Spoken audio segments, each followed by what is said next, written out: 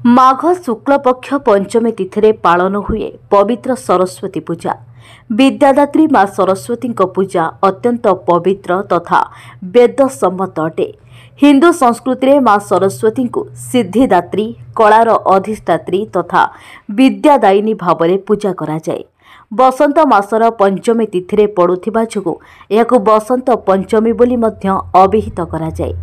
ଏହି ପୂଜା ସାରା ଦେଶର ପୁରପଲ୍ଲୀରେ ଧୁମ୍ଧାମ୍ରେ ପାଳିତ ହେଉଥିବା ବେଳେ ପୁରୀ ବାଲିଘାଟ ଗୋପାଳପୁର ରୋଡ୍ସ୍ଥିତ ଉଦୟନାଥ ଏକାଡେମୀ ପରିସରରେ ମହା ଆଡମ୍ବରରେ ଏହି ପୂଜା ପାଳିତ ହୋଇଯାଇଛି। ଏହି ପୂଜା କାର୍ଯ୍ୟରେ କର୍ତ୍ତା ଭାବେ ବିଦ୍ୟାଳୟର ସମ୍ପାଦକ ଦିନେଶ କୁମାର ପ୍ରଧାନ ଯୋଗଦାନ କରି ସମସ୍ତ କାର୍ଯ୍ୟ ତୁଲାଇଥିଲେ। ଛାତ୍ରଛାତ୍ରୀମାନେ ବିଦ୍ୟାଦାତ୍ରୀ ମା ସରସ୍ୱତୀଙ୍କ ନିକଟରେ ପୁଷ୍ପାଞ୍ଜଳି ଦେବା ସହ ନଡ଼ିଆ ବାଡ଼େଇ ଆଶିଷ ଭିକ୍ଷା କରିଥିଲେ।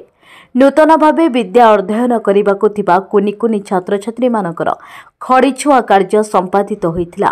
ଶେଷରେ ମାଙ୍କ ନିକଟରେ ଭୋଗ କରାଯାଇଥିବା ପ୍ରସାଦକୁ ସମସ୍ତଙ୍କ ମଧ୍ୟରେ ବଣ୍ଟନ କରାଯାଇଥିଲା।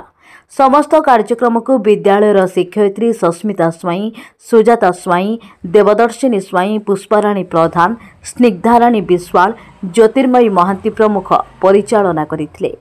ସେହିପରି ଅଠରନଳା ସ୍ଥିତ ଭଗବତୀ ବିଦ୍ୟାନିକେତନ ପରିସରରେ ମା ବାଗ୍ଦେବୀ ସରସ୍ୱତୀଙ୍କ ପୂଜା ଧୁମ୍ଧାମ୍ରେ ପାଳିତ ହୋଇଯାଇଛି।